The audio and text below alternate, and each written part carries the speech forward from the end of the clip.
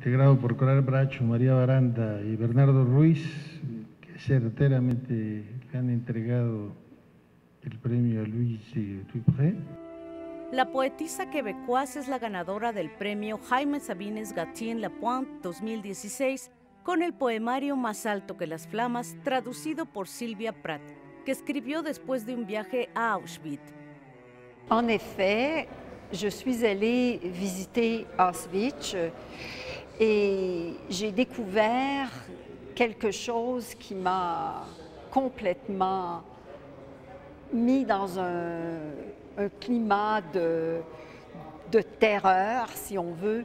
J'ai vu une vitrine où étaient exposés des vêtements de bébés qui avaient été exterminés.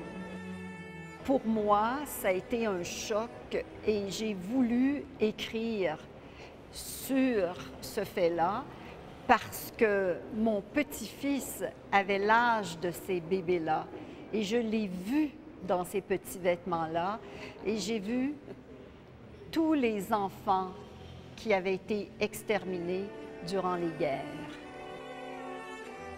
El premio que otorgan por partes iguales el Seminario de Cultura Mexicana y el Festival de la Poesía de Quebec le será entregado a Louis Dupré en Aguascalientes durante el encuentro de poetas del mundo latino.